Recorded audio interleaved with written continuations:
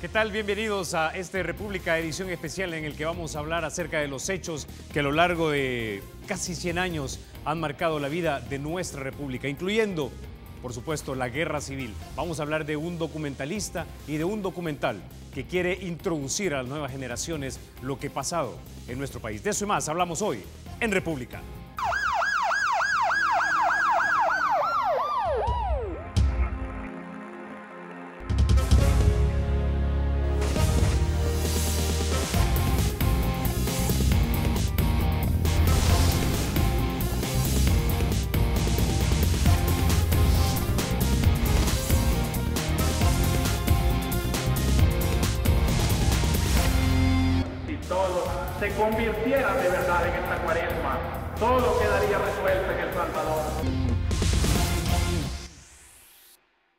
Tal? Eh, bienvenidos a este República edición especial. Dependiendo de quién le pregunte, son 75 mil, 80 mil muertos los que perecieron en la guerra civil. Eh, recientemente se ha estrenado un documental llamado El Salvador, los archivos perdidos del conflicto, de un documentalista salvadoreño. Con él vamos a estar hablando acerca del documental en sí, pero también vamos a conversar con algunos de los protagonistas de la guerra para tratar de entender un poco qué es lo que causó este conflicto que nosotros tuvimos. Vamos a ver, eh, para iniciar, el eh, trailer de este documental, para que usted sepa de qué estamos hablando.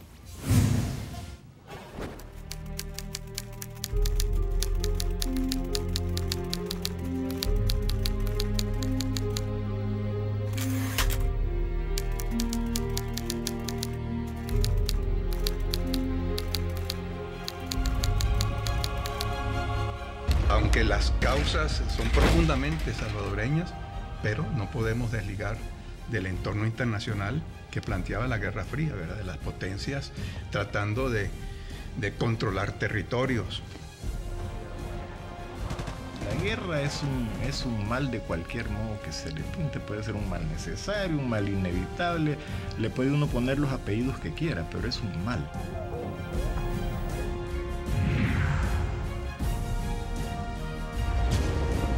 Guerrilla quería una cosa, destruir el aparato productivo. ¿Y cómo se destruye el aparato productivo? De diferentes formas, o dinamitando la fábrica, incendiando la fábrica, o matando al que hace producir. La ideología es cosa peligrosa, porque cuando uno, por su ideología, ya tiene la idea o cree que tiene derecho de quitar la vida a otro, ese es problemático. Lo que yo no me cuesta tolerar es que personas con una participación igual o peor que la Guardia y otros escuadroneros vengan y se vendan como santos.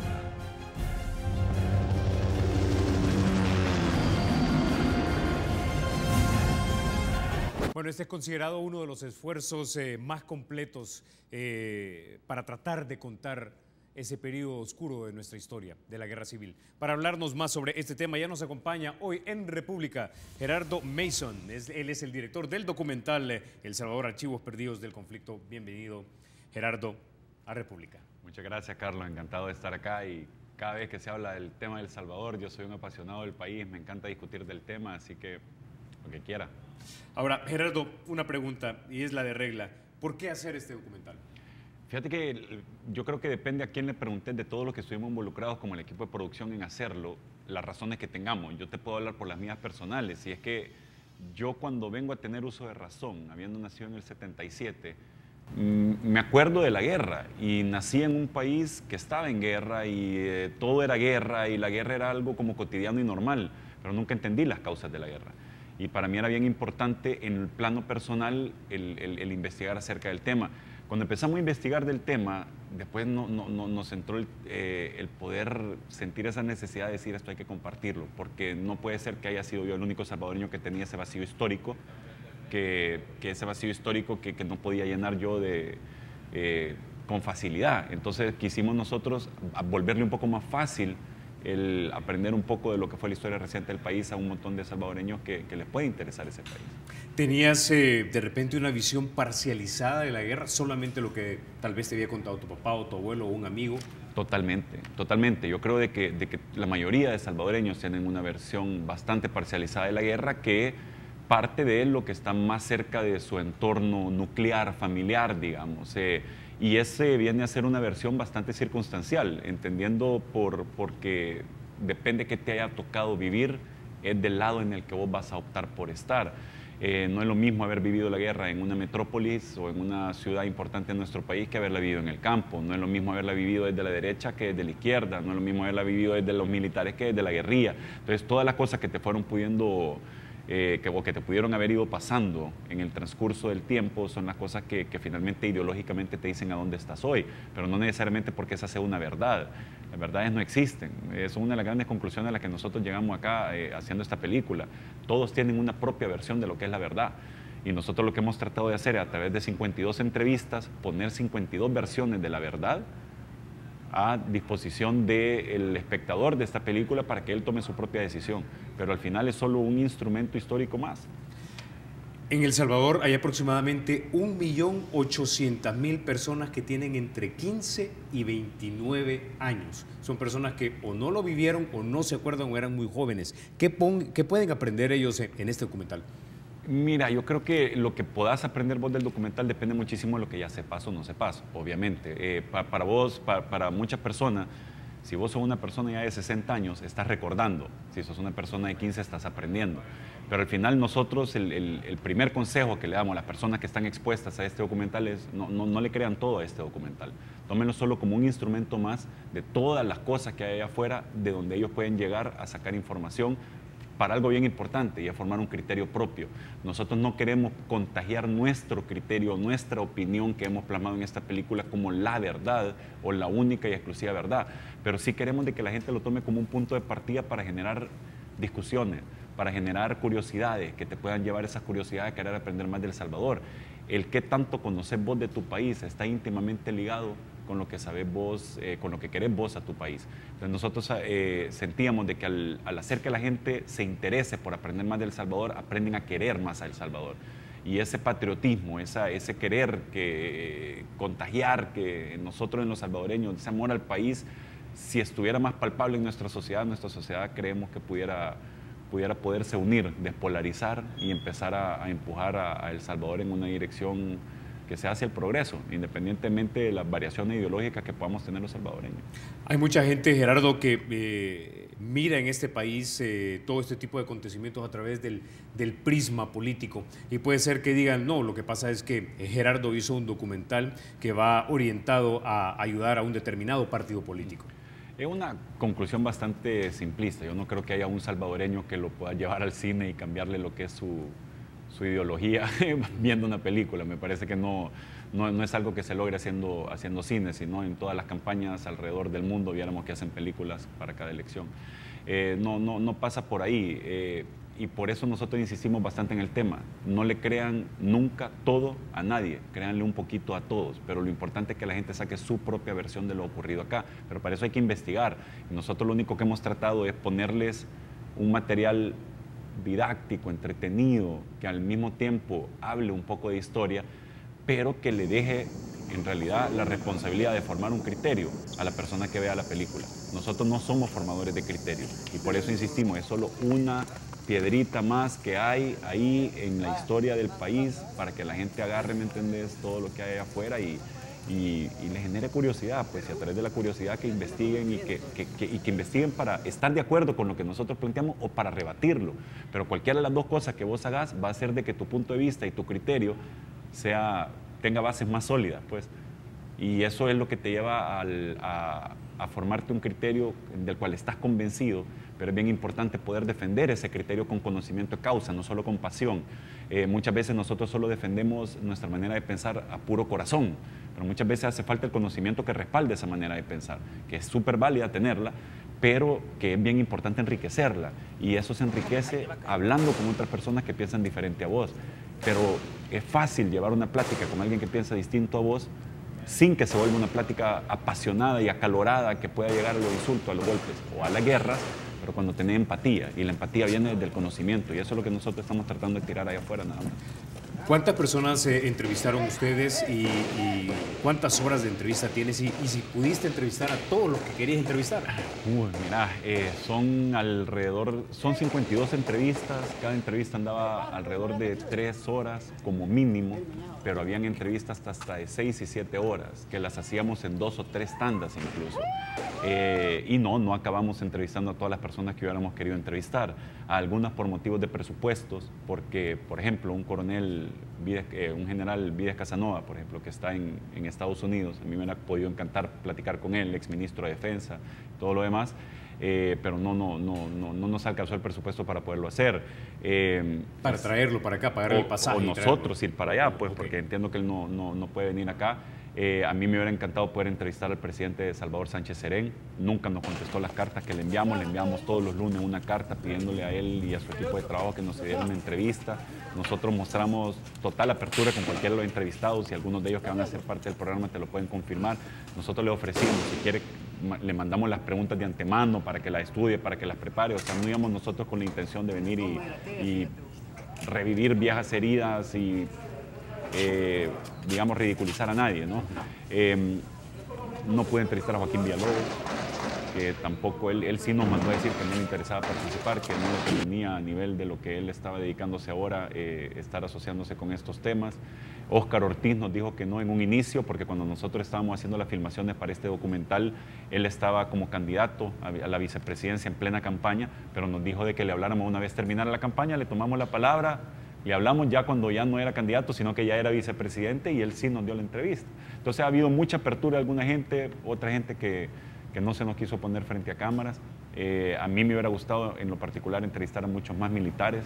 Siento yo de que no están tan representados los militares eh, en la película como, como estuvieron en la guerra, eh, proporcionalmente hablando, pues, y creo que la versión de ellos creo yo que todavía está por escribirse. No, no, no creo yo de que... ¿No quisieron ellos? Eh, no, ¿Estaban renuentes? Eh, sí, muchos de ellos no, no, no, quisieron participar de los que nosotros les hicimos eh, la solicitud, que eran a los que teníamos acceso o que habíamos determinado nosotros según nuestra investigación que eran más relevantes platicamos muchas veces con ellos, horas de horas de horas, sí nos dieron mucha información algunos de ellos, pero ya no quisieron sentarse enfrente de la cámara, digamos, a, dar su testimonio. Entonces yo sí te pudiera decir que en honor a la verdad, yo creo que la, la, versión militar, digamos, de lo que fue el conflicto armado, yo creo que en este país todavía está por contarse. Pues. Ya que hablaste de militares, el último presidente militar, el general Carlos Humberto Romero, mucha gente no sabe si está fallecido o si está perdido. Yo creo que todavía nos hacemos la pregunta, ¿no? Todavía mucha gente se hace la pregunta, pues, pero sí es un tema lo del golpe de Estado del 15 de octubre del 79, sí es un tema que sí se toca en la, en la película, definitivamente. Eh, es parte importante de la historia. Como ven, decís, es el último presidente militar. Ahí entran en, en discusiones en la película que son sumamente interesantes. ¿Era gobierno militar? ¿Era dictadura militar? ¿Qué era? Hoy, por cierto, vamos a tener a uno de los que dijo que no eran eh, dictaduras. Vamos a ver si, si, si, si, llegamos a un acuerdo en eso. Quiero que hablemos un poco también de los valores de producción. Vamos a mostrar algunos de los eh, de la, del behind the scenes que tenemos eh, eh, y que nos proporcionó tu compañía productora. Vamos a ver si lo ponemos en pantalla para que podamos ver algo de lo que ustedes estuvieron trabajando. Creo que esta es la entrevista del expresidente Alfredo Cristiani. Creo que tenés hasta, hasta un boom ahí.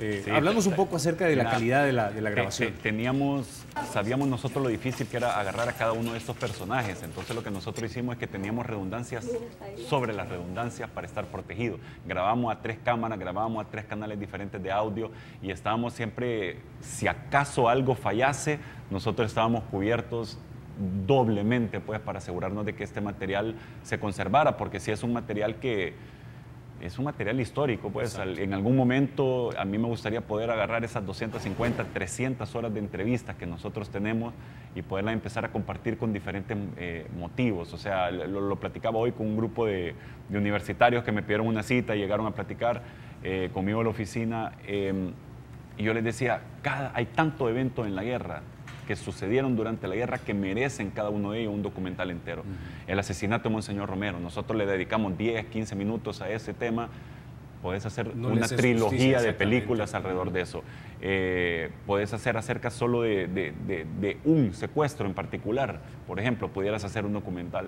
Pues hay tantas cosas que pasaron en la guerra, hay tanta, tanta pasión involucrada en lo que fue el conflicto de El Salvador que hay, hay muchísimas cosas que vos puedes contar y nosotros por eso finalmente fue que decidimos hacer tres capítulos y no uno solo. La idea original nuestra era vamos a hacer la historia de la guerra y la vamos a contar y vamos a hacer una película y la vamos a lanzar y todo eso. Cuando de repente veníamos y teníamos cuatro horas y medias editadas de testimonios que no podíamos cortar porque no había nada que no fuera relevante. Entonces ahí fue que decidimos partirlo en tres.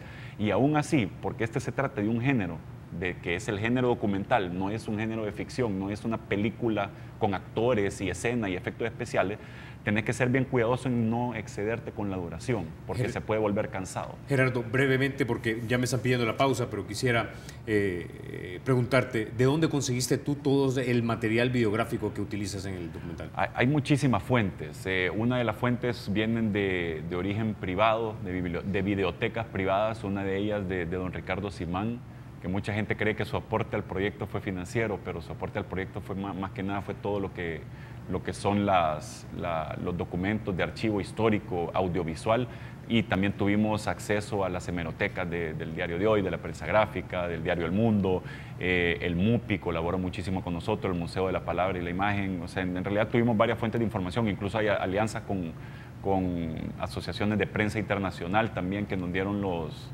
que nos dieron los, los accesos a algunos de sus archivos y así es como hemos ido pues eh, buscando, buscando muchísimo. pues. Interesante. Bueno, vamos a ir a la pausa, vamos a regresar con eh, otros invitados también, aparte de Gerardo Mason, pero quiero que eh, le echen un vistazo una vez más a lo que ustedes podrían ver en, eh, en los cines si van y miran este interesante documental. Veamos.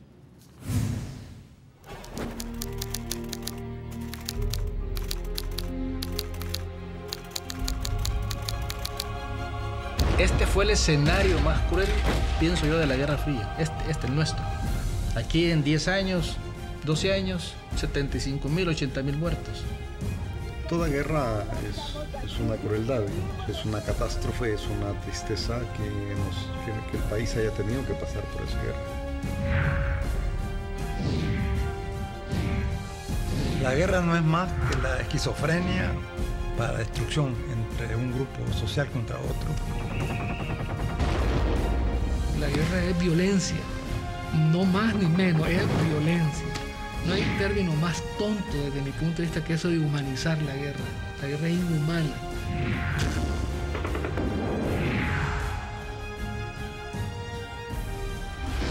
Yo creo que nadie ha calculado, ¿verdad?, la cifra, pero los economistas, los expertos, hablan que los 10 o 12 años de guerra en El Salvador eh, significaron 30 años de atraso en desarrollo.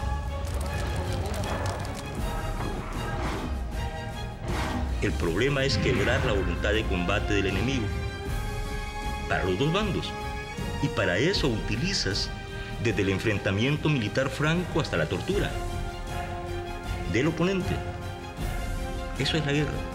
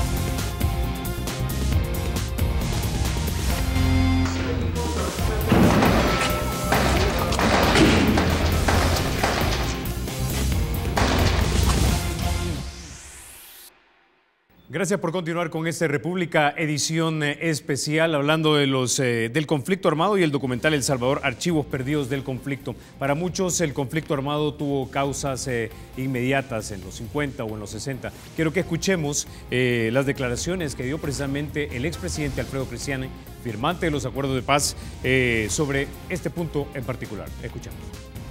Yo creo que son varios los, los orígenes que tuvo el conflicto armado en El Salvador eh, creo que son dos los principales. Eh, uno es que durante las décadas entre el 50 y el 80 eh, se dio una dictadura militar en el sentido de que a pesar de que teníamos elecciones, pues el partido que, que representaba al sector militar nunca perdía, aunque ganara o perdiera las elecciones. Bueno, para contrastar eh, la versión de, esta parte de la historia, ya nos acompañan eh, cuatro personas. Eh, Nidia Díaz, ella es comandante o excomandante del FMLN y actualmente es diputada. También nos acompaña el general Mauricio Vargas, ¿verdad? quien fue comandante de la tercera brigada de infantería, si mal no recuerdo. Sajid Herrera nos acompaña, él es historiador y es miembro del Departamento de Filosofía de la Universidad Centroamericana UCA. Y nos acompaña, por supuesto, una amiga de Canal 33, doña Gloria Salguero Gross, eh, miembro fundadora del partido Arena. Vamos a comenzar con usted, eh, doña Nidia. Eh, el presidente Cristiani pone básicamente como causas políticas la generación del conflicto armado. Intuyo yo que usted tendrá una versión diferente de los hechos. Bueno, quizá en este caso complementaria. Bien recuerdo que el mismo presidente Cristiani en septiembre del 91 en Nueva York, frente a todos los gobiernos del mundo, estábamos nosotras en un proceso de negociación, había como un nudo ahí, ¿verdad? Y estábamos en ese momento allá. Y él dijo que la guerra en El Salvador no era un invento de un loco o un problema este-oeste, sino que había tenido sus causas internas en eso nosotros nos pusimos de acuerdo. Y entre los factores que originan la guerra en El Salvador, el conflicto armado, está también lo que él dice, pues, este, los regímenes militares que obstaculizaron el desarrollo de las libertades políticas y los derechos humanos en el tema político. La exclusión, ¿verdad? La marginación y la falta de libertades fue una de las causas. Pero también eh, un fenómeno y una causa estructural, podría decir yo, histórica, es la injusticia social, la injusticia económica. Tengo una serie de acumulaciones a lo largo de la historia, eh, la injerencia ¿verdad? en las decisiones por parte también de Estados Unidos que veía en El Salvador y en países de Centroamérica como el traspatio. Hay intereses eh, geopolíticos principalmente. Eh, el hecho de la exclusión política fue una de las cosas mucho más graves, porque uno aún en condiciones de pobreza, en condiciones de menos desarrollo, puede convivir y ponerse de acuerdo políticamente como el que hay que hacer, a través de un diálogo, un entendimiento, pero cuando en aquellos tiempos diálogo es traición, o tú ves al adversario, al que se opone al régimen militar, a la falta de libertades como el enemigo interno, y internamente en un país se va dando esa diferencia de opinión y se va excluyendo a los opositores, se les va marginando, se les va eh, inhibiendo todas sus libertades, es lo que te conlleva a buscar espacios, oxígeno, porque si no te matan, te desaparecen, creyendo que al desaparecer la persona, desaparece la idea, desaparece el, el factor que cuestiona, que subvierte el orden en un orden que, con el cual no compartís por el método, el régimen militar que imperaba. Entonces creo que en eso nos hemos puesto, por lo menos me pongo de acuerdo, ¿verdad?, con, con uno de los factores que ha planteado el expresidente Cristiani. Antes de pasar con el historiador Sajid Herrera, yo quisiera que escucháramos también algo que dijo eh, una miembro muy eh, significativa del eh, FML en histórico, María Chichilco. Escuchemos. No profundizábamos tanto en la democracia, más bien hablábamos de la dictadura del proletariado, que hoy al final, hoy después uno dice, pues hombre, no es, así la cosa, porque la dictadura es dictadura, le ejerza quien le ejerza, ¿verdad? Bueno, hablaba ella de dictadura. Eh, Ya hablaba Nidia eh, Sajid acerca de la exclusión y la marginación que de repente había en nuestro país, tal vez producto incluso desde antes de que El Salvador se llamara El Salvador. Quisiera que nos dieras un poco de perspectiva histórica de cómo se excluyó y se marginó a grandes, a grandes cantidades de personas en este país. La exclusión no es algo del siglo XX. Me alegra eh, sobremanera que el expresidente Cristiani eh, hable de de causas estructurales del conflicto armado, ¿no? Pero estas causas estructurales son históricas, se han venido construyendo en el país eh, a lo largo de varios siglos, ¿no? Eh, si queremos buscar la manzana de Adán, habría que, habría que irnos hasta la colonia, ¿no? Para poder ver cómo se han excluido a ciertos sectores, ¿no? Indígenas, mulatos, de la participación política, económica y social del país, ¿no? Cultural. Yo diría que desde el siglo XIX podemos notar nosotros cómo este proyecto de modernidad política y económica que se instaura eh, a mediados del siglo XIX viene a colapsar ¿no? en la década de los 60, 70. ¿no? Esta es una hipótesis que se viene manejando por ciertos historiadores, eh, en la cual pues no solo le asigna a los regímenes militares una cuota de poder o una única cuota de poder al conflicto armado, ¿no? sino también, ¿por qué no hablar también de, dictaduras, eh, si se quiere hablar de dictaduras militares, ¿no? que el término es muy discutible, ¿no? ¿por qué no hablar de dictaduras civiles? como lo que sucede con la dinastía Meléndez Quiñones o la familia Meléndez Quiñones en los años 20, eh, durante la década de los años 20 del siglo XX. ¿no? Es decir, eh, la exclusión social no ha sido producto de un solo grupo, o de una sola corporación. ¿no? La exclusión social ha sido una forma como se ha entendido la dinámica social de este país, desgraciadamente, ¿no? así como la violencia, como una, como una respuesta para generar o para resolver problemas. Y entonces al final se convierte en un constructo histórico, en un constructo social. ¿no? Desde esa perspectiva hay que ver que las raíces del conflicto de los años 80, la guerra civil de los años 80, eh, pueden ser algunas muy inmediatas como las que refería el expresidente Cristiano, los regímenes militares de los años 50. Sin embargo, eh, lo que algunos historiadores ya comienzan a plantearse, que lo que viene a colapsar es en realidad un proyecto de modernidad eh, política, económica y social que se fraguó desde mediados del siglo XIX. Un proyecto económico y social de modernidad en el cual se quería imitar ¿no? a las grandes potencias atlánticas, eh, un país que nace como una república cafetalera, ¿no? se quiere imitar esas grandes potencias atlánticas, pero eh, no se da cuenta eh, que los pies los tiene sobre una tierra muy distinta en la cual se construyeron esas potencias atlánticas. ¿no? Entonces, como historiadores, no nos queremos quedar únicamente en una perspectiva de corta duración, sino más bien una perspectiva de larga duración para poder entender realmente estas causas estructurales e históricas del conflicto armado. Vamos a dar la bienvenida también a Monseñor Rosa Chávez, un verdadero placer que esté con nosotros ahora, Monseñor, obispo auxiliar de San Salvador. Gracias por la invitación, Están acá compartiendo este momento. Monseñor, eh, ya mencionaba Sajid entonces las raíces históricas que datan incluso desde el siglo XIX. Sabemos que la Iglesia Católica, no solo en este país, sino en todo el mundo, básicamente tenía un gran poder incluso era parte del Estado. Eh, ¿Qué papel jugó? Y digo eso porque eh, el doctor David Escobar Galindo también, el documental habla acerca de una alianza entre militares, eh, la oligarquía y la Iglesia Católica para mantener al país como estaba. Y estábamos, como ya lo mencionó Zahid, en situación de exclusión y marginalización. Sí, yo vi ese momento de la proyección de la sesión privada que tuvimos. Me llamó la atención porque eso tenía sentido antes del Vaticano II Hoy esto es totalmente lo contrario. Yo me quedé pensando en esa frase de David Escobar Galindo.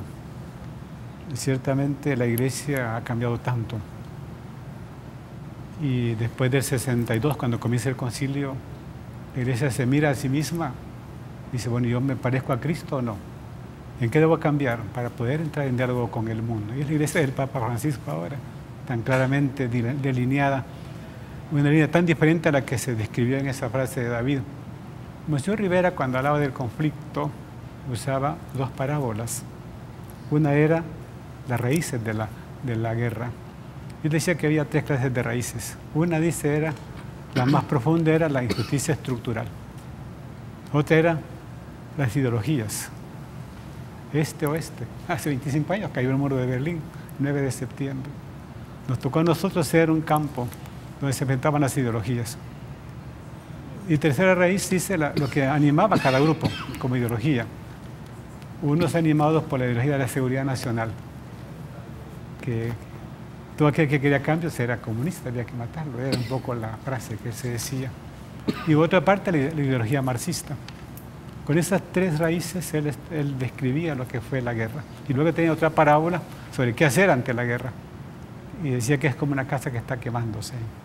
¿Qué se hace cuando una casa está incendiada? Primero dice hay que tratar de salvar a las víctimas del incendio.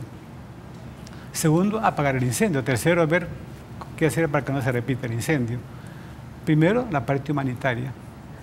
Segundo, el diálogo como camino para vencer la guerra, que fue lo que se hizo. Y después, ver qué cambios hay que hacer para que seamos un país donde nunca más se piense en ir a la guerra para resolver diferencias. Son dos parábolas interesantes que para mí describen muy bien lo que fue la raíz y lo que fue también el proceso que nos llevó a la paz. Ese día el presentador dijo, aquí están antiguos enemigos viendo esta proyección como que no ha pasado nada. Eso se dice rápido, pero es un milagro maravilloso que nos tiene aquí reunidos también ahora a nosotros. Y yo quiero alegrarme de eso que ya está pasando y pensar que podemos lograr que eso nunca más se vuelva a repetir. Monseñor, sé que usted tiene poco tiempo para estar con nosotros, por eso le voy a hacer esta repregunta. Eh, hablaba usted que un parteaguas fue eh, en 1962 el, Concilio Vaticano II. ¿Cómo era la iglesia de principios de siglo en este país? Es decir, y si estaba realmente como la describe, o, o entendí yo, por lo menos en el documental, que había una alianza eh, a nivel de élite entre el principal obispo de repente y el presidente de la República. Lo curioso es que la historia nuestra, salvadoreña, tiene un montón de obispos expulsados y clero expulsados del país. Una iglesia perseguida por el sistema liberal de la época, la masonería. Está todo documentado históricamente, o sea que esa imagen de David no corresponde a lo que aquí vivimos. Están los historiadores que han hecho sus obras sobre la iglesia salvadoreña y casi todos los obispos tuvieron que salir expulsados. El caso de Matías Delgado, él usurpó el querer ser obispo. Eh, nunca Roma le, nombró obispo. Y, todavía lo pintamos con su gorrito rojo de obispo. Cuando esté en la escuela primaria así lo dibuja. O sea que es bueno eh, recordar que nuestra historia es bastante diferente y que en caso nuestro el liberalismo nos llevó a ser una iglesia perseguida desde antes. Y ahora ya volvió a ser perseguida en la época que estamos comentando.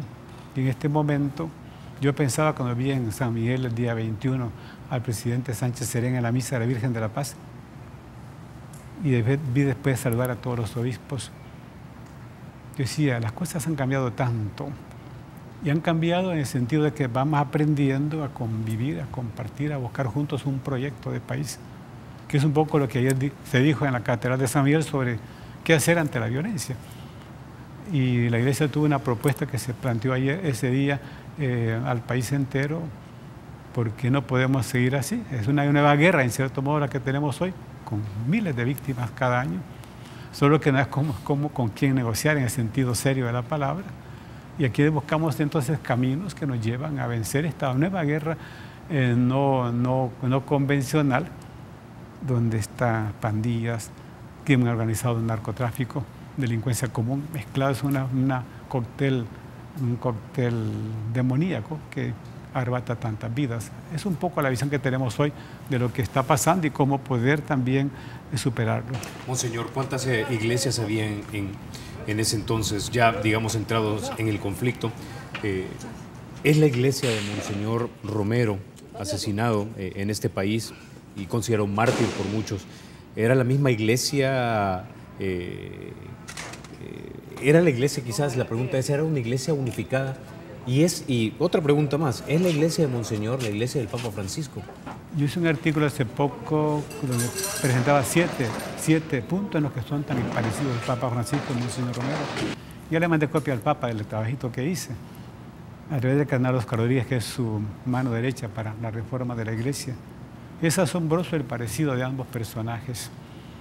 Y por eso es que el Papa está tan a gusto con Romero y quiere cuanto antes ver en los altares. Pero viendo la pregunta anterior, ahí le tocó la transición. Yo conocí a Romero conservador allá en San Miguel, yo era estudiante, él era ya sacerdote.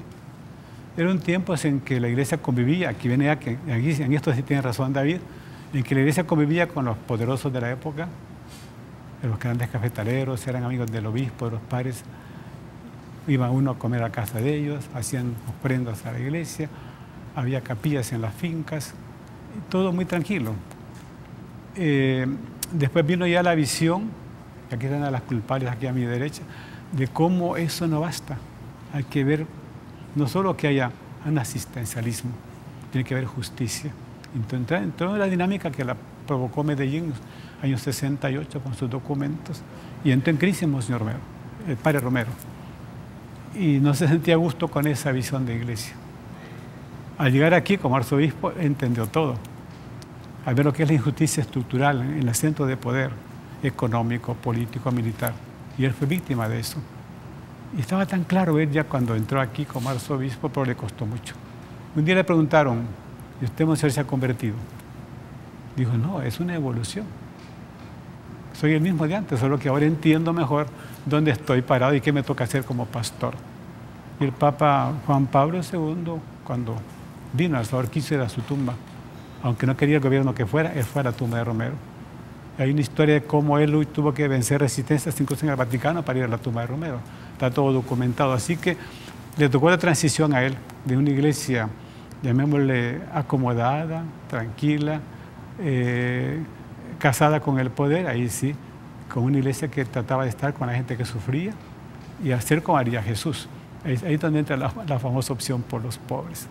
Mm. Interesante que diga eso porque uno de los papas más conservadores que ha tenido la iglesia, el Papa Juan Pablo II, va y visita al que muchos consideraban cura comunista. Fíjate que hay, hay un libro escrito por su secretario privado, que ahora es arzobispo de Cracovia, Stanislao Divis, y él cuenta dos anécdotas. Un capítulo que dedicado al martirio, y él dice, la primera es que antes de venir aquí, le visitaron obispos y cardenales, no vaya a tumba de Romero, está todo muy politizado. Y dijo, pero ¿cómo no va a ir si es un pastor que dio la vida por su pueblo? Esa fue la primera. Y está, tengo yo el libro donde cuenta eso él. Segundo, fue el año dos, 2000. Ahí se celebraba el jubileo de los mártires, el 7 de mayo.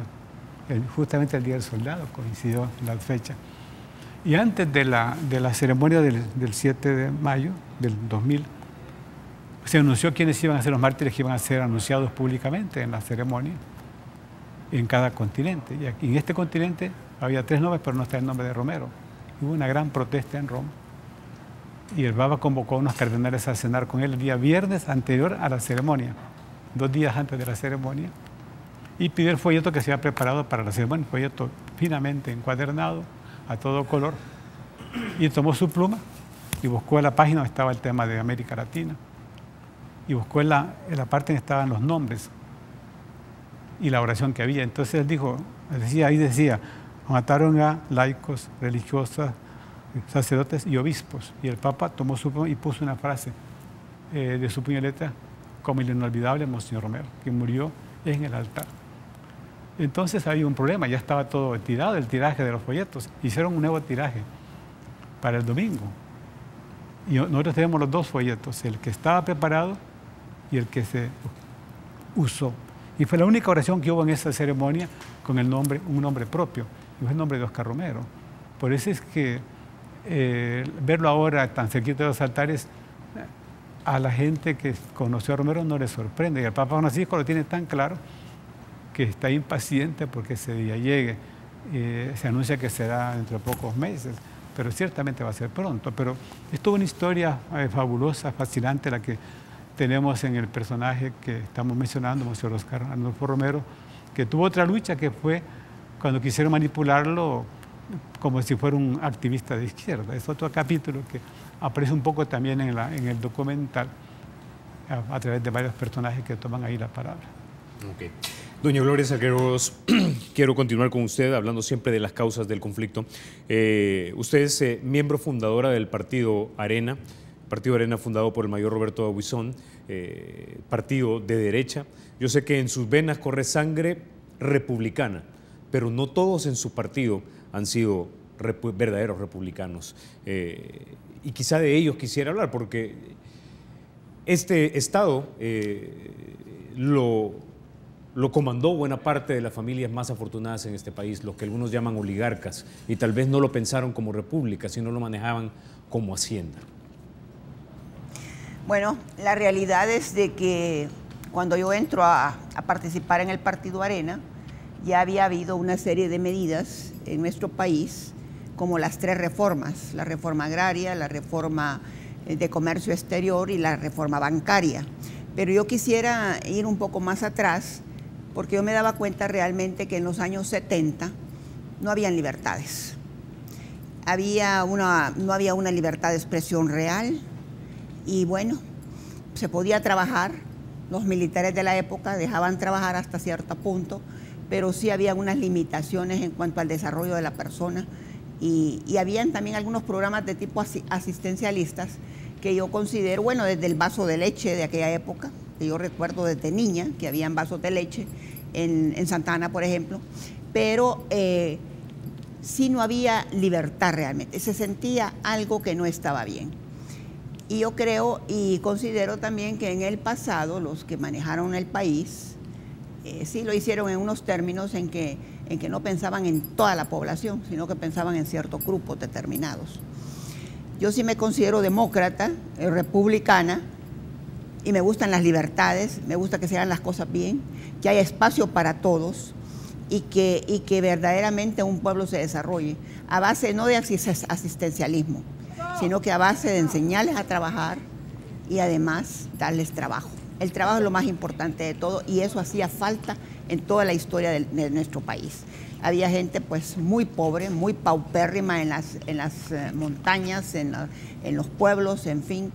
Y lo que más hizo un énfasis terrible dentro de la etapa esa fueron cuando se dan las reformas, esas tres reformas que vengo de mencionar, porque por ejemplo la reforma agraria se habló de un, eh, que era una medida contrainsurgente que no podía desplazarse, tenía que ser inmediata y se dio en ciertas condiciones en que esa reforma verdaderamente fue un fracaso total y que hasta la fecha repercute y que además en esa época cuando se da la reforma agraria, nuestro territorio del país, todo el territorio, se volvió tierra de nadie porque se hablaba de cooperativas, había pánico en la, población y es en ese momento en que realmente el partido, pues la guerrilla en esa época crece y crece desproporcionalmente y se va apoderando de una serie de regiones del país. Pero sí, eh, yo quisiera insistir en esas reformas que en lugar de haber contribuido a algo positivo, contribuyeron a algo verdaderamente súper negativo. Cuando vemos, eh, eso trascendió también la reforma agraria, trasciende, porque al crecer la guerrilla también en, en las ciudades, en las montañas, en todas partes, también hay violencia, hay mucha gente del campo que sale fuera de nuestro país. Hay una emigración realmente que se debería hacer un estudio sobre eso yo le pediría que se haga un estudio verdaderamente, la UCA lo podrá hacer, porque hay una emigración terrible en esa época, en los años 80, que se denota ese incremento real. No, es, no son palabras ni que eh, hubo cierta... No, emigraron masivamente nuestra gente fuera del país y a continuación se dice, ¿por qué no lo pararon la emigración? Lo que pasaba era que muchos que ya estaban en Estados Unidos y veían que tenían una vida mejor, distinta completamente a la que tenían en El Salvador, pues ¿qué pasaba? invitaban a sus familiares, a los parientes, a los amigos, les ayudaban a irse para los Estados Unidos y la emigración continuó. Y continúa, ahora últimamente a la fecha continúa, pero hoy continúa por otras razones también, que es la violencia de pandillera que hay en nuestro país, de las maras, porque yo he sabido que hay niñas de 10, 12, 14 años y que los padres están afligidos porque ya se les acercan estos muchachos pandilleros, mareros, a invitarlas a que, se, a que participen de esas agrupaciones. Entonces, esa, esa emigración continúa también hasta la fecha.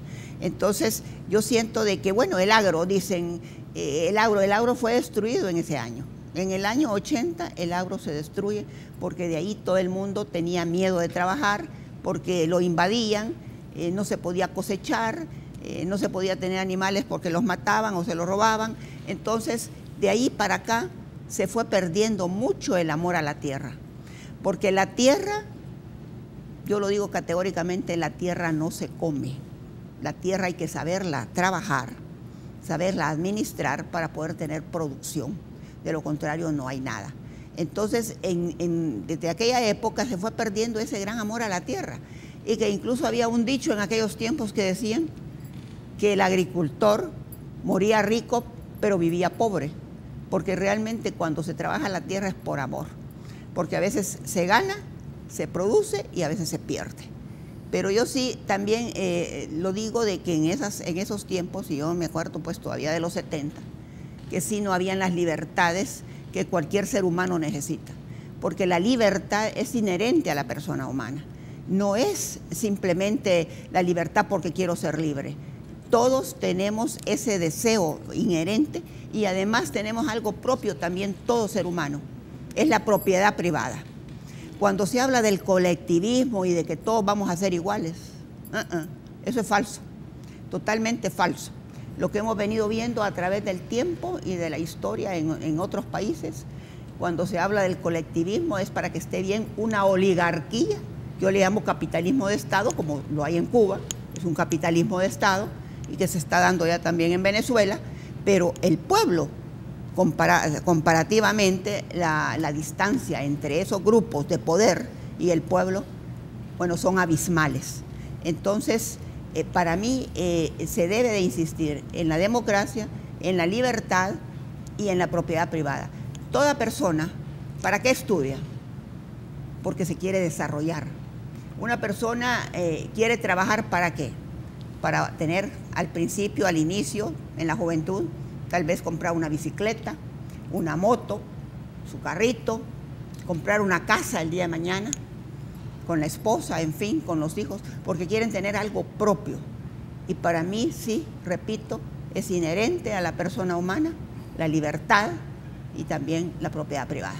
Ahora, eh, General Vargas, quisiera ir con usted. Eh, el historiador no nos va a dejar mentir tampoco. El, poder estuvo depositado en, este país en un momento dado, a principios eh, tal vez de nuestra historia, en las familias afortunadas, pero en, los 30 se da un quiebre y llega el general Maximiliano Hernández Martínez y con eso se inaugura una serie de gobiernos militares que pues creo que no se caracterizaban precisamente por dar las libertades políticas a las personas. Yo quisiera que hablara usted por el estamento militar en este momento y la contribución o no contribución que ellos tuvieron para que se diera una guerra, manteniendo esas eh, condiciones de exclusión y marginalización. Bueno, a mí no me gustaría hablar por el estamento militar. Yo me gustaría hablar por desmistificar la lucha armada, por desmistificar las causas y orígenes del conflicto. Porque aquí hay silla para todos. Aquí habemos dos, cuatro, cinco y creo que cada quien tiene su pecado. Unos por omisión y otros por, por acción. Aquí, aquí nadie en este país, nadie se salva. Aquí se dice, cuando el licenciado nos dice, eh, las causas estructurales, eso es fehacientemente correcto, son causas sociopolíticas en el factor estructural como causas y orígenes del conflicto. Eh, creo que Monseñor se refiere a la parte geopolítica es lo que se llama la escuela, la escuela intervencionista. Aquí hubo dos corrientes de pensamiento político que analizaron el conflicto, las causas sociopolíticas y las causas estructurales. ¿Por qué antes no se llegó a un arreglo? Porque los estructuralistas veían solo el estructuralismo el problema de El Salvador. Y los intervencionistas veían solo en la intervención el problema de El Salvador hasta que en los años 80 llegamos y conjugamos y colocamos un vínculo orgánico entre los dos, nos fuimos dando cuenta de que ambas son parte del conflicto y que tienen un vínculo orgánico que va interactuando de mayor a menor o de menor a mayor de acuerdo a las circunstancias que se viven. Porque venir a este, traspolar ese, ese tiempo a este día es bien chiche. Porque aquí se dice, eh, los militares, los militares fueron gerentes de un proyecto, no eran los dueños del proyecto. Ahí hay una verdad media, ahí hay una historia omitida. Ahí ya yo sigo viendo que seguimos... eh, ¿Quiénes eran los dueños del proyecto? Bueno, hay poder económico, hay poder político y hay poder social. Aquí no, no, no son personas, aquí son problemas. Al que le quede el saco que se lo ponga. Pero eso era correcto, de ahí teníamos el, el factor, los factores externos. Cuando geopolíticamente los americanos tienen el área de seguridad, tienen el área de interés y tienen el área de influencia, que lo tienen en Europa, con lo tal los soviéticos lo meten a través de Cuba. Hablar de la insurgencia que como una lucha de liberación, me parece que ya no es tiempo 22 años después. Venir a decir que vale la pena históricamente 80 mil muertos, perdónenme, ¿cómo 80 mil muertos van a valer la pena, hombre? A mí me es totalmente imposible aceptar que, que justifiquemos 80 mil muertos como para las causas históricas y como las mismas causas históricas estamos tratando de resolver en este momento de una manera diferente. Entonces, eh, para mí hay muchas cosas que hay que ir colocando en su lugar. Es más, estos archivos perdidos del conflicto comienzan a, a verse historias omitidas, comienzan a desmistificarse las verdades unilaterales. El papel que jugó la teología de la liberación radical en este país fue muy grande. ¿Y por qué 22 años después todavía no, todavía no queremos aceptarlo? Queremos heredarle un, desde el punto de vista de la ideología, está bien que se mantenga, pero desde el punto de vista de lo que queremos heredar en la historia, no podemos continuar mistificando algo. Cuando lo, los más cercanos, recientes que tenemos, Cuba y Nicaragua, dos revoluciones triunfantes, ¿contra qué lucharon? Contra los factores estructurales. Dictadura, pobreza, dependencia, miseria, militarismo. ¿Qué hay 50, 60 años después? Un cambio nada más. Los mismos vicios con distintas caras. Entonces, yo creo que es el momento de ir sincerando un poquito más esta situación. Eh, los factores eh, estructurales están bien planteados, pero esos son factores estructurales que desde mi perspectiva sirvieron para generar violencia política. Violencia política no para cambiar la pobreza, los factores estructurales, sino para la toma del poder e implementar lo que llamaban en ese momento la dictadura del proletariado. Y no, y no los, en este archivo del conflicto, actores del conflicto lo han dicho, pues. Por eso digo que hay historias omitidas que comienzan a salir. Ya no podemos nosotros continuar viendo el problema desde esa perspectiva. Para mí, reitero, las escuelas de pensamiento político con los factores sociopolíticos y la escuela estructuralista, ambas son parte del conflicto de mi país. Y a ambas hay que desarrollarlas sin sesgos ideológicos y sin eh, héroes o villanos, buenos o malos. No, aquí lo que necesitamos es desmistificar para que las nuevas generaciones no vuelvan a caer en el error de la intolerancia que caímos nosotros. Si la intolerancia, el odio asesino que hubo en ese momento, aquí eh, se escucha de los asesinatos. Bueno, digo yo, pero ¿por qué estamos hablando de esto de un, de un lado? Porque hubo en, todo, en todos lados agarren los míos y agarren los otros. Y lo que tengo que decir es lo que realmente sucedió en ese momento y qué es lo que pasó. Yo, en el orden personal, creo y reitero que sí hay que ir desmistificando esto para que las nuevas generaciones aprendan realmente una lección que les pueda servir en el futuro y que no entren en la locura en que nosotros entramos en, ese tiempo pasado. Sé que Monseñor tiene que irse. Eh, le voy a plantear una última pregunta, Monseñor, y es la siguiente. ¿Cree usted que las causas que, nos llevaron a la guerra siguen vigentes o se superaron? ¿Está la República ahora en un mejor estado que lo que estaba antes? Hace poco en el Consejo de Nacional de Seguridad yo dije una frase que provocó una reacción de Facundo Guardado. Yo dije que esa es una cosa admirable y milagrosa que después de la guerra casi no hubo venganzas. Un pueblo tan, tan violento como es el salvadoreño terminó la guerra y la tutela legal que era tan cuidadosa en este tema casi no tiene casos, casos documentados de venganza después del conflicto. Facundo pidió la pared y dijo, es que hicimos un pacto en la mesa de evitar eso. Y es un dato interesante, también son de las verdades que dice Mauricio que conviene conocer más, más en detalle, porque en la psicología nuestra eso no se puede explicar naturalmente. Yo tengo una explicación diferente y es que casi todos eran gente del campo, los soldados y los guerrilleros, gente con un corazón muy noble, gente evangelizada y que sintió que matar después de la guerra así, a sangre fría, como que no le venía como algo natural. Hay que ver cuánto hay de lo que dijo Facundo y cuánto hay de lo que pienso yo. Pero el hecho está ahí. Casi no hubo venganzas. Siendo un país tan pequeño donde todos nos conocemos, se sabe quién mató a mi papá, a mi hermano, a mi primo. Y, y- y no pasó. Eso para dar un poquito de contexto a tu pregunta. Y ciertamente hay lecciones que aprender.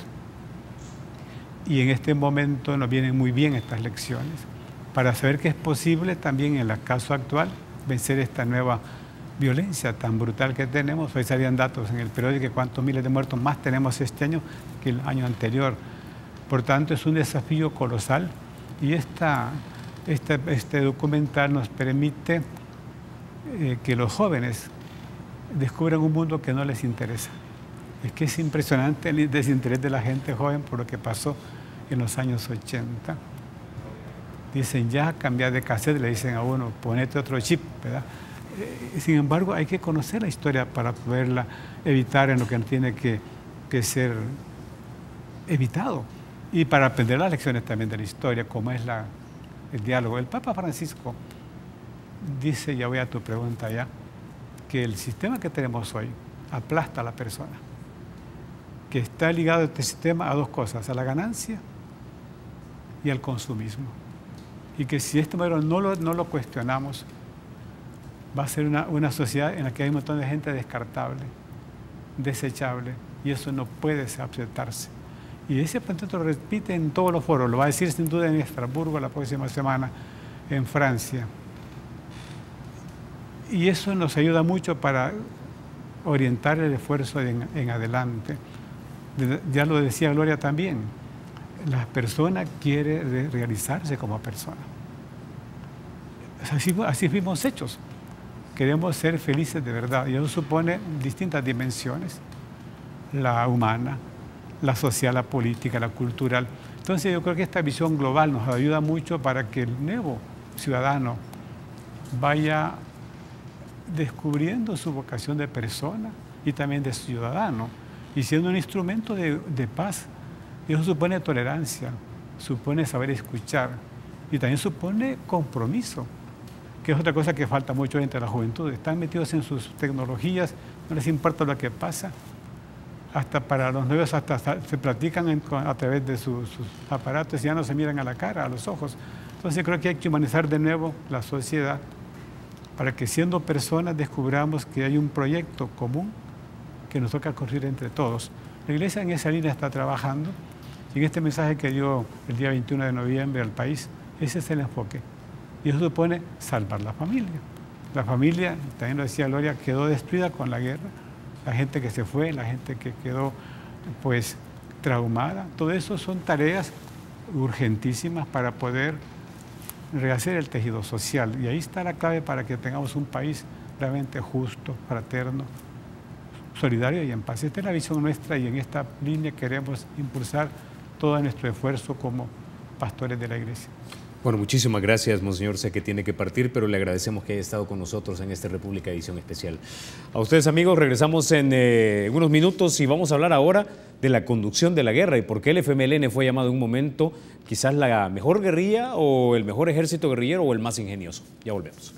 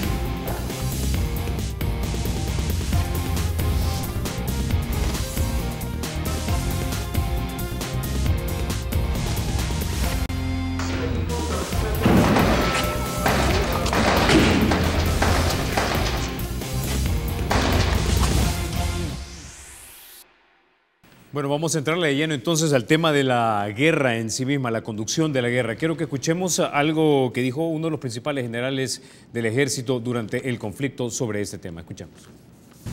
Al llegar al 89, por ahí así, estábamos, estábamos peleando con, con gente también brava, por decirlo así. Yo me preguntaba siempre, bueno, ¿y esta guerrilla cuál es la fortaleza que tiene? Y solo tuve una respuesta, es que son salvadoreños también son tenaces, hay que decir la verdad.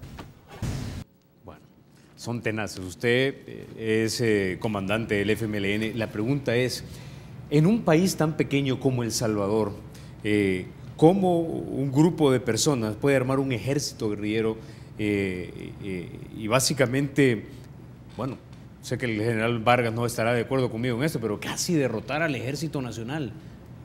¿Cómo lo lograron hacer? ¿Qué tipo de guerrilla eran ustedes? Bueno, mira, ante todo, nosotros éramos luchadores sociales, ¿verdad? Yo, si tuve mi origen, es alfabetización primero, entre los 13, 14, 15 años, después labor social cristiana, movimiento por un mundo mejor, eh, la juventud católica estudiantil, eh, la jornada de liberación integral, luego viene la teología de la liberación, ¿verdad? Y el método de alfabetizar se transforma en un método concientizador, método Freire, yo entro en el año 70 a la universidad, mis primeros vínculos son con el movimiento estudiantil. Entonces nosotros luchábamos por la transformación de una universidad en proyección y vinculación con el pueblo. De ahí pues trascendimos a cuidar mesas en el año 72 en las elecciones, donde Duarte va de candidato a presidente, Guillermo Ungo vicepresidente, a mí la guardia me quitó mi urna, era el tiempo que se rellenaban las urnas, de la época de los tamales le decían, ¿verdad? Y fui golpeada en esa oportunidad. Eso radicalizó mucho más las formas de lucha. En el año 75 yo dejo de estudiar en la universidad después de una masacre de estudiantes, la famosa eh, eh, masacre del 30 de julio, provenida de dónde? De que los estudiantes siempre salíamos en desfiles bufos, y allá en Santana se metieron en la universidad cuando venía, porque era caricaturizar la realidad política, los desfiles bufos. Y después fuimos a las calles y vino esa masacre el 30 de julio, pues. Yo salí de ahí con paños así por los gases. Es decir, y ahí yo comencé mucho más a radicalizar. Lógicamente yo estaba en la clandestinidad también, tratando de cambiar un orden establecido. No estábamos de acuerdo como dije al principio, con los métodos dictatoriales y no hallábamos cómo hacer. Eh, en El Salvador no había una tradición de guerra larga, sino de espacios insurreccionales. En 1811, 1814, con Anastasio Aquino en 1833, bueno, las guerras de integración de, Francisco Morazán, que, que, eran entre ejércitos realmente gubernamentales, pero no había unas guerras largas. En el 32 mismo una insurrección ¿verdad? campesina, eh, periodos de huelgas de brazos caídos, cosas rápidas. Inclusive el Che Guevara pasó por acá en los años 50 rumbo a México y miró la topografía de El Salvador, ¿verdad? Y él, dentro de sus escritos posteriores, habla que en El Salvador jamás podía haber una guerrilla porque era un país extremadamente pequeño, extremadamente poblado, las condiciones topográficas, no habían montañas, etc. Entonces nosotros crecimos con, con esa visión de que aquí jamás iba a haber una guerra de guerrillas, sino que se usaban los métodos secretos, eh, la conspiración, porque vivíamos bajo regímenes militares. Eh, al final de los 70, ¿verdad? Eh, que empieza realmente a formarse una milicia, ¿verdad? Eh, ante la violencia institucional empieza a surgir una violencia popular, decimos. Y, pero jamás en un concepto de guerra. Si yo me casé en el 80, me embaracé el 80, octubre, jamás pensé en una guerra civil de 12 años, mucho menos. Una guerra que no quisimos, ¿verdad? Después el conflicto, como yo digo siempre, los conflictos o resultan solucionados a través de los entendimientos o se vuelve una cosa explosiva. Pero ¿qué curso le das a un conflicto, verdad? Y aquí lamentablemente se le dio el curso de la salida violenta, militar. Si Carter en los años 79 suspendió la ayuda a El Salvador cuando él presidía por país violador de derechos humanos.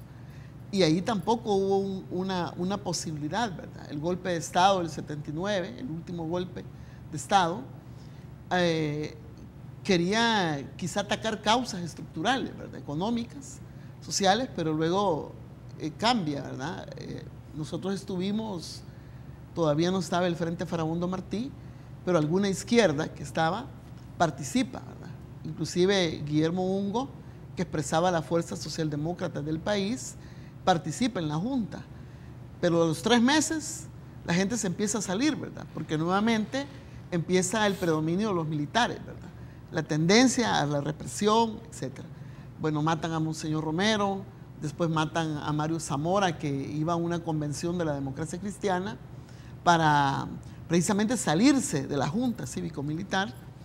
Y así eh, empieza a darse una serie de situaciones. Se va unificando el pueblo en el Frente Democrático Revolucionario. Surge el Frente en octubre del 80 se da esa alianza entre fuerzas democráticas y fuerzas insurgentes, pero no teníamos todavía una estructuración de ejército guerrillero. Eh, Chafí cuenta en su último discurso en la Plaza Cívica, 14 de enero del año 2006, que se buscó después del triunfo de Reagan contactos con el embajador que estaba en Honduras a manera de hablar con Reagan, porque aquí en este momento los sectores de poder económico y político no creían en el diálogo, lo veían como una traición, ¿verdad? Entonces había que buscar factores externos, pero no se pudo dar esa reunión y el 10 de enero del año 81 nosotros hicimos un esfuerzo donde teníamos organización popular, campesina, etc., de hostigamiento a los cuarteles. Bueno, he visto cómo entrevistaron a María Chichilco y ella se había tomado la radio de Chalatenango y estaba hablando que todos nos fuéramos a la Plaza de Libertad que ahí nos íbamos a ver en la tarde, del 10 de enero del 81. Y al momentito le cayeron balas a ella en, el, en, la radio y tuvo que meterse al frente pues, a lo que eran las zonas campesinas. Hay libros que las nuevas generaciones y todos debemos de leer. Está Las veredas de Chalatenango, Valió la pena, que es la reflexión que hacen las madres, los niños, etcétera, de que, que empieza el concepto las guindas cuando del 10 de enero del 81 al 83, digamos, este, pero sobre todo entre el 81 y 82, se da toda esa migración de personas más adentro de, las zonas campesinas, cantones, caseríos, y ahí se empieza a estructurar lo que es el ejército guerrillero, Las, las, tropas eh, que empezaron a conformarse y teníamos doble trabajo. Pero, ¿cuál fue el modelo de ejército guerrillero que ustedes tomaron? ¿O era un ejército eh, convencional? Fue inventado, porque al principio teníamos pequeñas unidades que observaban si venía la, tropa. otros que andaban cuidando la población, ¿verdad? Y otros que eran pocos, las unidades operativas.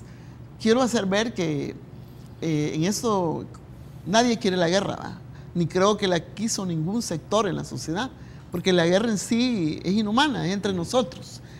Y uno a veces dice, cuando le cuestionan, ¿cómo piensa usted? ¿Valió la pena? ¿No valió? Yo he dicho que valió la pena, pero no en el sentido que dice el general, que valió la pena matar 80 mil personas, 8 mil desaparecidos. No, valía la pena luchar por la democratización de un país y precisamente el resultado de los acuerdos de paz es lo que nosotros hablamos de que es el producto, ¿verdad? Final, que no quisimos que se extendiera 12 años, pues jamás.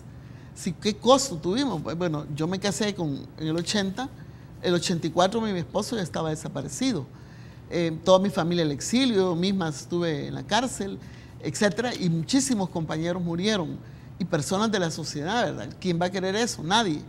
Entonces, pero el factor que prolongaba el conflicto y nos llevaba a nosotros a organizarnos de mejor forma era que se prolongaba porque querían darle una salida militar. Ahora, ¿eran ustedes un ejército, digamos, eh, rígido, con una jerarquía rígida, como un ejército convencional, o era flexible? Aquí tienes una foto de la Comandancia General que expresaba las cinco organizaciones guerrilleras que tenían doble estructura, un comité central como partido político, eh, un secretario general y un destacamento militar, ¿verdad? Este, que era el ejército el ala del ejército.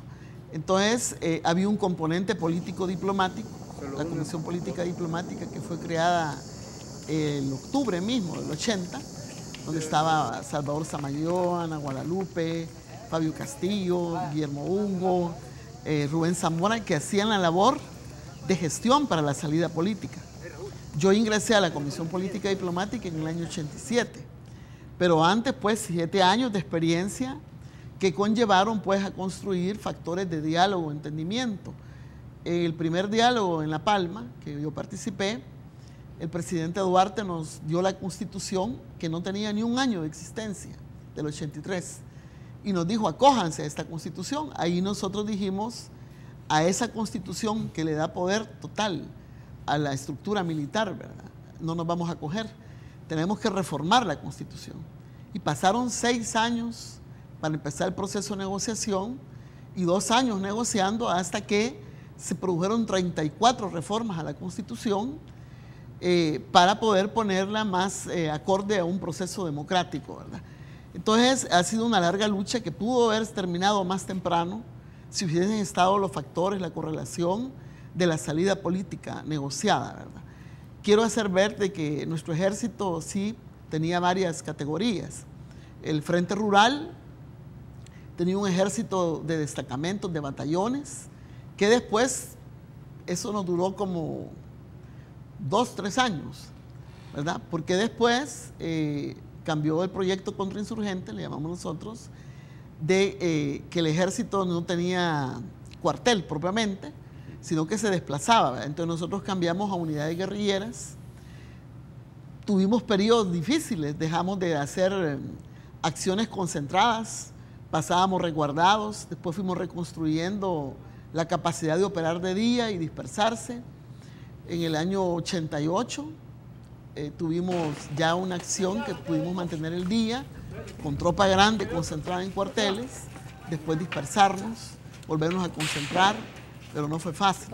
Ahora, ustedes tenían... Y teníamos eh, en la guerra urbana también los comandos urbanos, eh, estructuras de base, bases de apoyo, es decir, un ejército que, fue capaz, voy a decir, de enfrentar situaciones adversas también en cuanto al, al estrangulamiento logístico que se dio entre los años 84 y 85 y vino el armamento casero y para sobrevivir, para comer, nos dispersábamos por todo el país, ¿verdad? Ahora, al estilo de, la revolución eh, de los Estados Unidos, ¿tenían ustedes, por ejemplo, como los gringos que tuvieron a instructores alemanes, instructores franceses, ¿tenían ustedes instructores vietnamitas, nicaragüenses o cubanos que, los, que, que, que los enseñaran en el arte de hacer una guerra de guerrilla? Fuimos a cursos, yo particularmente no, pero mis compañeros muchos sí fueron a cursos eh, en, en Vietnam, en bueno, cursos políticos en Bulgaria, Rusia, en Cuba, en Nicaragua, pero este,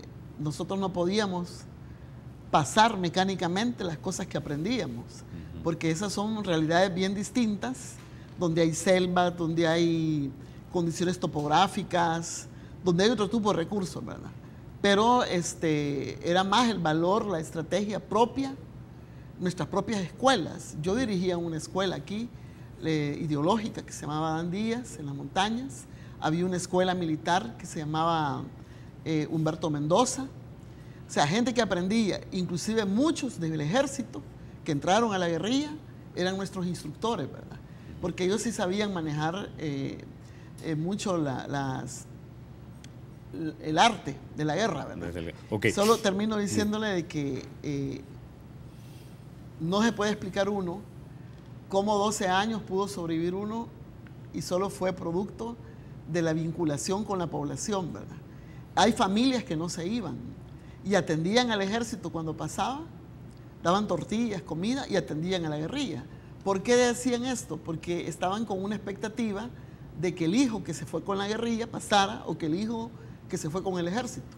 Yo misma en mi familia tenía mi primo hermano que era capitán del ejército. Y mi mamá y su hermana rezaban el rosario para que yo y mi primo no nos encontráramos.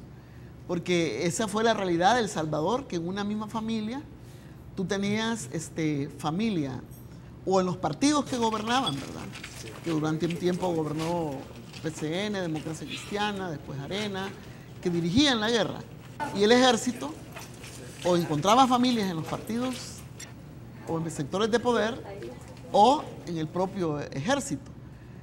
Estábamos divididos porque fue una guerra entre hermanos, lo que un día pasó entre nosotros, ¿verdad? entre los propios salvadoreños. Y tuvimos la capacidad de llegar al final y plantear la reconciliación. Después vino la desmovilización de nuestro ejército, Ejército Nacional para la Democracia. Nosotros desmovilizamos en cinco tiempos. ¿Cuál, ¿Cómo fue el mecanismo? Que la ONU, al final de la guerra, primero en 50 posiciones, después en 15, e in situ, nos dio un, cartoncito cada uno donde decía eh, movilizado, ¿verdad? Y al final, ya para, por cada cumplimiento de acuerdos, un porcentaje de guerrilleros se desmovilizaba de este ejército, le daban otro cartoncito que decía desmovilizado. Y el ejército salvadoreño se concentró también en los cuarteles y empezó un proceso de reducción de las unidades que fueron hechas para la guerra, ya no eran necesarias. Entonces ese proceso fue simultáneo, pero solo termino que lo que se desmovilizó no fue el Frente Farabundo Martí como proyecto político, sino, el ejército. Nacional de la Democracia que nosotros construimos con sus distintos estamentos. Ok. General, ah, quiero ir con usted para, para, que me dé ahora la versión del, ejército. La pregunta es, eh, yo recuerdo al general eh, eh, Corado que me dijo, nosotros teníamos una misión constitucional y era defender la República. Eso es lo que me dijo el general Corado, recuerdo. La pregunta es, era vencer entonces a lo que en ese entonces era el enemigo, es decir, el Ejército Nacional del FMLN, para la democracia. La, fuerza guerrillera. La, la, pregunta es, ¿por qué no se consiguió hacer esto, general? ¿Por qué el ejército no logró vencer a la guerrilla? Bueno, primero hay que caracterizar de qué estamos hablando. Estamos hablando de una fuerza insurgente se habla de ejércitos, de escuelas militares, eso es, eso es una concepción político-ideológica. Ahí habían centros de entrenamiento, eh, habían columnas, todo lo que tú querrás, pero de ejército eso no, tiene, no tenía nada. Eran unas fuerzas guerrilleras. Eso, así como la FARC, así como en Vietnam, son fuerzas guerrilleras. ¿Cómo operan? Su primera etapa, latente e incipiente, trabajan en la secretividad y en la clandestinidad. Desde ahí, cuando voy dando características, es donde digo, eh, ¿podés cazar fantasmas o no? O no? ¿Podés cazar algo que no ves o no? Eh, esa fue su primera etapa. Y esa etapa se da más o menos desde el año 1929 que los luchadores ideológicos del Partido Comunista, porque hay que, entonces hay una visión ideológica. Ya, ya ahí vamos a caracterizar un poco para ir equiparando un poco la situación y poderla ver. El Partido Comunista mantiene su hegemonía desde, después de la, de la insurrección de 1932 hasta 1970, donde está la primera ruptura de ellos. Pero ¿por qué te estoy caracterizando esto si estamos hablando de, la, de, cómo actuaban? Ustedes no sé si se acuerdan del Partido Revolucionario Abril y Mayo. Ustedes no se acuerdan si del Partido Acción Renovadora. Ustedes no se acuerdan si la Unión Nacional Opositora. Infiltración. Infiltraban. Clandestino. Secreto. Ah, bueno. entonces, ¿de qué estamos hablando? Pongámoslo en su dimensión. Eh, con la Unión Nacional Opositora llegan a su máxima expresión prácticamente. ¿Quiénes la comandaban? Dagoberto Gutiérrez y Chafik. Eran los cerebros de, ese concepto en la Unión Nacional Opositora. ¿Quiénes eran? El Partido Comunista. Y entonces, ¿de qué estamos hablando, por favor? Viene, continúa todo ese proceso y comienzan todas las infiltraciones en sindicatos, organizaciones de masas, magisterio, estudiantes, etcétera, que lo están escritos en los libros ya.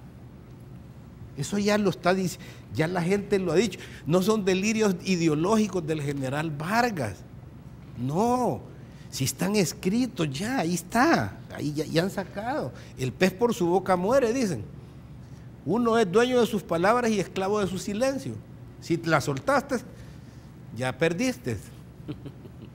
Entonces hay cosas que mejor no las digas porque después te las van a cobrar. Ahí está ya escrito, ya está dicho y ahí ya no hay ningún problema. Entonces el, que le quede el saco que se lo ponga y el que no, pues tranquilo. ¿Qué sucede en ese sentido? Hoy nos vamos a la parte de los 80. Primero, 1981, quisieron tomar el poder por la vía rápida. Ahí habían cinco corrientes de pensamiento que las unifica Fidel Castro en los 1980, pero, pero no hay factores externos, eso sí, es propio, esos son los factores estructurales, la pobreza, la miseria. Fidel Castro los une, pero no hay nadie. Las escuelas que, salen los datos y los números, y el licenciado nos puede decir de de que como historiador que ha encontrado de los entrenamientos en Cuba, de la permanencia en Cuba, de una cantidad industrial de gente. Aquí se habla como que fueron tres, o como que eran dos, o como que era uno, y que no venían con nada para acá, y no las armas de allá llegaron, pues y no fue un trasiego brutal vía Nicaragua, hombre. Entonces, general, me está diciendo que por lo amorfo que era la situación, era muy difícil decir, esta es la fuerza con la que tengo que luchar y por lo tanto derrotarla, y es objetivo la derrota. Bueno, es que hoy voy a la parte militar. Primero quiero que el televidente comprenda lo que yo quiero decir, porque venimos desde 1929 lidiando con el mismo problema, con luchadores ideológicos que quieren tomar el poder para instaurar un esquema totalmente diferente, punto. Que si el que estaba es bueno o es malo es otra cosa, porque yo escuché aquí decir, eh, que el liberalismo, no, si aquí no ha habido liberalismo, aquí lo que ha habido es mercantilismo y esa es la confusión que tenemos. Recuperemos el liberalismo y entonces vamos a ver si funciona o no. Pero aquí dicen que fracasó. Pero vámonos a otra cosa. En los 80 viene lo que se va a la guerra de guerrillas, que es la segunda etapa que se consolida en, en su última, en la guerra de movimiento, donde hay unidades, fíjate cómo se califica en el término académico, cuasi militares. No estamos hablando de ejércitos y de batallones y de regimientos. No, no, no, Si esos nombres están bien para que les dé fuerza y les dé ánimo en el momento, pero no, eso no, no pasa de eso, de una concepción de ese tipo. No hay líneas definidas, no hay frentes que estén claramente identificados. Si vos entrabas a una población, a un caserillo, ahí no acaban de decir, es que atendían a uno y atendían a otro. Y es que ahí dejábamos tal cosa, es que ahí teníamos tal otra, es que ahí, están los libros hoy. Yo invito a que lean para que vean lo que, lo que han escrito y definitivamente podamos, podamos encontrar realmente a dónde fue la locura en que nos metimos como salvadoreños. Y yo lo que estoy diciendo, cuando hablo de las causas históricas, estoy hablando porque dicen que valió la pena porque era la única forma de mover las causas históricas. ¿Y, qué valió la pena? La guerra. ¿Y la guerra qué trae? ¿Bombones o qué es lo que trae? ¿Piñatas o qué es lo que trae? Muerte. Lo que trae es muerte y destrucción. Y eso solo se puede justificar. El que justifica eso lo puede justificar nada más desde una perspectiva ideológica. No hay otra manera. Porque, porque si, si lo, uno lo desideologiza, no puede entrar en esa situación. General, Entonces la guerra era inganable, básicamente, lo que me está diciendo. Bueno, mire, eh, Colombia, ¿cuántos años tiene? De, tiene que 50, ¿verdad? Sí. Las brigadas rojas, ¿cuánto tiempo tienen de estar? Las ETA, ¿cuánto tiempo tienen que estar? Eh, el otro, los Tupac Amaru, ¿cuánto tiempo tienen de estar? O sea, miren, eh, yo voy a decir un concepto que yo le expliqué a mis compañeros para la negociación. La guerrilla puede ser derrotada militarmente. Estoy totalmente de acuerdo y la historia nos lo ha dicho. Colombia tuvo victoria militar en los 70, Guatemala tuvo victoria militar en los 70, pero la guerrilla podrá ser derrotada militarmente, pero jamás para obtener la paz por la vía militar. Ahí vas a obtener guerra, continuidad. Hay un vencedor y un vencido, pero las causas continúan. El vencedor tiene todo el beneplácito del mundo, el perdedor recibe todos los castigos del mundo y, la vida continúa y vuelve a brotar posteriormente. La paz, Colombia lo tuvo, Guatemala lo tuvo. Guatemala hizo seis años después, siete años después la paz de nosotros. Y Colombia la está buscando ahorita, habiendo obtenido victoria militar. ¿Qué queríamos nosotros? Nosotros dijimos, vamos a ganar la guerra, pero podemos perder la paz. ¿Qué hay que hacer? Me dijeron. Les dije, bueno, ok, miren, hacer la guerra es una tarea militar, hacer la paz es una tarea política, hay que apoyar al gobierno y que el gobierno pague la factura de lo que salga en el término posterior. Ok. Quiero ir con el historiador eh, Sajid. Ya escuchamos las dos versiones de la guerra, eh, pero eso también a mí eh, me hace pensar en aspectos culturales de nuestra población y lo que permitió precisamente el hecho de que se desarrollara un ejército guerrillero o una guerrilla, como le dice el, el- general Vargas, pero que esas ideas, valores y prácticas, creencias de nuestra población posibilitaron que pudiesen seguir funcionando sin que fueran descubiertos completamente y derrotados.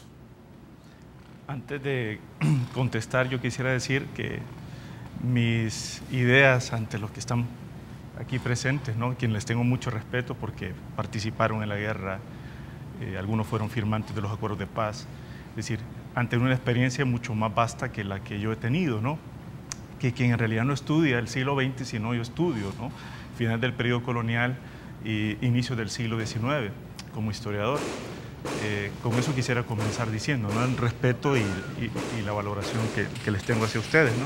Pero también hay, hay un aspecto que me llama mucho la atención escuchar a doña Nida Díaz y al general Vargas, es cada uno con sus diversas interpretaciones eh, sobre la guerra, sus diversas interpretaciones sobre la formación de sus respectivos eh, bueno, ejércitos, corporaciones militares, es que al final eh, lo que le queda a uno como salvadoreño es una reflexión de eh, la locura de la guerra, ¿no? Es decir, eh, y el fracaso de este proyecto de modernidad del que hablaba en mi primera intervención hace varios minutos, con el cual fue configurado no solo El Salvador, sino América Latina, ¿no?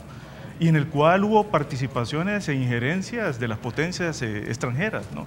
Solo recuerdo el libro del historiador suizo radicado en Estados Unidos, Michel Goubat, eh, que se llama Enfrentando el sueño americano, donde él analiza justamente la presencia estadounidense en, en Centroamérica, fundamentalmente en Nicaragua, con los filibusteros desde 1850, la década del 50, ¿no? pasando por la democracia del dólar a inicios del siglo XX, ¿no? hasta la instauración del régimen de, de Somoza. como otras experiencias en América Latina, ¿no? Y ya no digamos también la, eh, la injerencia, ¿no? la influencia ¿no? de, las potencias eh, del este. ¿no? Entonces, eh, eso no lo vamos a negar, aludiendo un poco a la, reflexión que hacía general Vargas entre telones. ¿no? sin embargo, sí somos conscientes que las causas estructurales fueron muy importantes, ¿no? Y hay que, reconocerlas también, ¿no? Esa dinámica, esa relación dinámica entre lo estructural, es decir, entre lo exógeno y lo endógeno, debemos de tener esta perspectiva de, análisis, ¿no? Eh, sin embargo, el fracaso de este proyecto de, modernidad, un proyecto de exclusión, eh, un proyecto de injusticia social, es decir, un proyecto que de alguna u otra forma adoptaba banderas eh, extranjeras, ¿no? Al final lo que nos recuerda es que los sueños de la razón, como decía Goya, ¿no? producen monstruos. Y de los grandes sueños de esta racionalidad, de este proyecto de modernidad salvadoreño desde el siglo XIX, ¿no? los produjo. Y uno de estos monstruos fue la guerra. Entonces, escuchar aquí al distinguido panel que me acompaña, ¿no? Este, comparto con ellos, ¿no? justamente me lleva a esta reflexión, me, lleva a los monstruos y a los fantasmas de, esta guerra, a los monstruos, los fantasmas de esta racionalidad o de estas múltiples racionalidades que se crearon como proyectos eh, inexorables y como proyectos inobjetables de este país en vías de progreso, de este país que quiere alcanzar su desarrollo, ¿no? pero a costa de muchos sacrificios, y, los sacrificios fueron los seres humanos, ¿no? los salvadoreños y las salvadoreñas. Entonces, eh, ver eh, ambas posturas ¿no? En momentos irreconciliables, en momentos convergentes, me hace recordar también algo que, que, nos converge esta, durante esta entrevista. Lo que nos converge es justamente el documental del señor Mason en donde lo que nosotros podemos observar justamente es la creación de múltiples memorias. Eh, memorias de la guerra, llámese memorias históricas o memorias colectivas. Al final, como dice, como decía el historiador francés Holbach, al final la, la construcción de memorias es parte de una acción social y lo hace cualquier grupo, ¿no? como colectividad, y cualquier grupo tiene su derecho a hacerlo. El documental nos muestra eso, el derecho que tiene tanto la derecha como la izquierda de construir su memoria histórica sobre la guerra, de construir sus héroes, su, panteón de mártires, sus respectivas plazas, monumentos, lugares de la memoria, como dirá Pierre Norano. Entonces, eh, y en, esa construcción lo que nosotros damos cuenta es también la complejidad que cada una de estas memorias resguarda, ¿no? y que cada uno de estos ejércitos o corporaciones militares que se enfrentaron, ¿no? o como se les quiere llamar, no quiero entrar ahorita en, el, en, este, en este debate, ¿no? Eh, como cada uno lo quiere llamar, eh, la guarda y la hace y la escribe. a tal punto entonces que este documental se convierte, a juicio de, los cientistas sociales, ¿no? en, una, en, un instrumento muy importante para analizar esta historia oral, para analizar esta memoria oral, como se ha escrito, ¿no? el testimonio, la experiencia, la vivencia. ¿no? Eh, ya hay antropólogos, sociólogos, historiadores que le están trabajando y están viendo de manera eh, con la eh, perdóneme la expresión, no quiero que suene una expresión eh, no comprometida, ¿no? pero con la neutralidad de las ciencias sociales, ¿no? es decir, tratando de eh, ver justamente cómo cada grupo la construye. Entonces, en ese sentido, yo quería dejar estas reflexiones porque me parecen muy, muy importantes y, y, quería dar cabos ¿no? con algunas otras reflexiones que el distinguido panel había mencionado anteriormente. Antes de irnos a la pausa e ir a la parte de la negociación, quisiera una última reflexión de usted, doña Gloria Salguero Bueno, mira, lo que yo vengo de escuchar también, en buena medida me dan la razón cuando yo hablo de la reforma agraria. Nidia dice que hasta los 70 no había una guerrilla formal, ¿verdad? Y es del 80 en adelante que sí. ¿Por qué? Tú decías, ¿por qué no, no fueron derrotados? por la reforma agraria, porque el territorio nacional se volvió tierra de nadie. Cuando nosotros éramos propietarios, teníamos posesión de las tierras. Entonces en esas tierras no podía entrar cualquier gente. Entraban solo los lugareños y los eh, empleados o vivientes dentro de las propiedades. Pero cuando se da la reforma agraria, el territorio se vuelve verdaderamente una anarquía completa. Todo el mundo podía ir por donde quisiera. Bueno, árboles fueron destruidos, ganado fue destruido. En fin, era una cosa verdaderamente impresionante en esos tiempos. Y yo quisiera mencionar que yo muchas cosas, bueno, como, como ciudadana en la parte civil, observé muchas cosas, pero yo no era ni de un bando ni del otro. Yo no era ni guerrillera ni era militar tampoco, pero uno observaba y veía. Y lo que yo creo que hacíamos, los, bueno, yo digo la parte civil, los que trabajábamos, creo que gracias a nosotros no hubo un problema aún más grande en ese momento, porque nosotros cubríamos parte en cuanto a la producción, en cuanto al trabajo, etcétera. Porque decía mi amigo Mauricio Vargas de que todos somos culpables, yo creo que sí, ¿verdad? La sociedad es culpable al final de todos los problemas que hay en una sociedad, la sociedad misma. Pero, eh, pero hay culpables de culpables, ¿verdad? Y en este caso no me considero culpable, al contrario, contribuí para que la guerra y todo esto ya no continuara. Por eso formamos el partido político Arena con el mayor Roberto Dahuizón, en aquel momento, simplemente 34 fundadores, porque todos tenían miedo de fundar el partido, tenían miedo de que, bueno, que fueran asesinados y lamentablemente muchos compañeros fueron pues asesinados y que estamos puramente en la parte democrática y pues auténticamente civil de, del país. Pero trabajamos para ello, para buscar la paz realmente y en una forma seria, eh, no chabacana, como se había, perdonen que lo diga, pero primeramente se hicieron unos intentos que yo no les vi nada, nada de seriedad. Estábamos en la asamblea y vimos algunos intentos, pero que no se veían serios.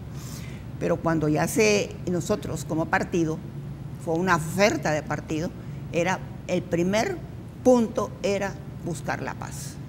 Y fue lo que hizo el expresidente Cristiani cuando empieza, pues en el mismo año, después de junio, empiezan ya a hablar de, de, cómo se iba a ir conformando, qué metodología, etcétera, y la participación tanto de unos como de otros. Luego yo participé también en la parte de las reformas constitucionales, que me parecieron muy buenas, conste. Todas esas elecciones de segundo grado ya por mayoría calificada, en fin. Yo creo lo que realmente tú también preguntabas, hacías una pregunta a Monseñor, de que si estábamos hoy mejor que antes. Mira, yo te voy a decir algo que me duele el corazón decirlo, porque cuando yo entré en el año 82 a la Asamblea, mi propósito era ayudar a un mejor país, verdaderamente buscar la, convivencia pacífica, que hubieran principios, que hubieran valores en nuestra sociedad. Yo traté todo el tiempo de mantenerme en, pues, en esa forma, permanentemente. Respetarnos los unos a los otros, buscar siempre el diálogo, sabernos escuchar y, y lograr grandes acuerdos. Y te digo que yo históricamente los logré en todas partes. Porque yo creo de que lo primero que deben hacer en el corazón de, de un salvadoreño que ama a su país, de verdad que lo ama, es trabajar para los demás. Porque si los demás están bien, yo voy a estar bien también. Entonces, para mí en este momento, yo me decepciono. Yo me decepciono porque veo problemas por todas partes.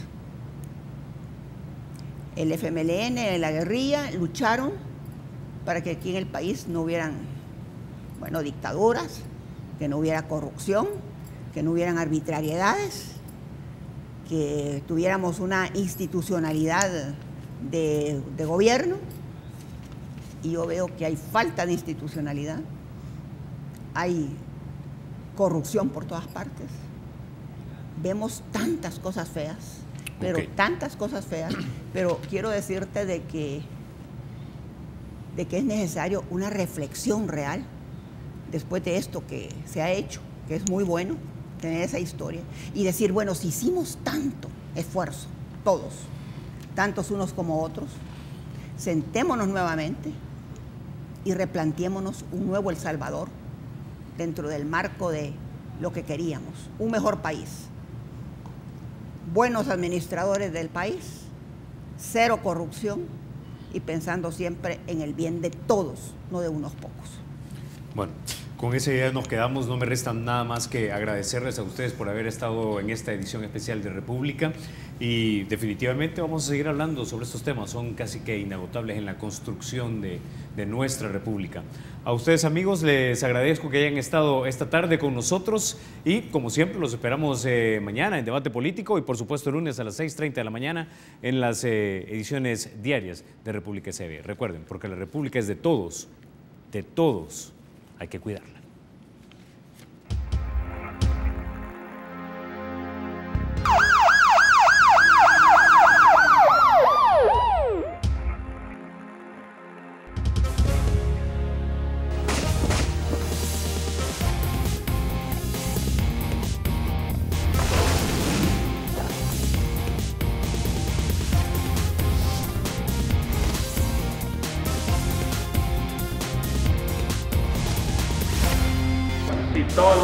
Se de verdad en esta cuaresma, todo quedaría resuelto.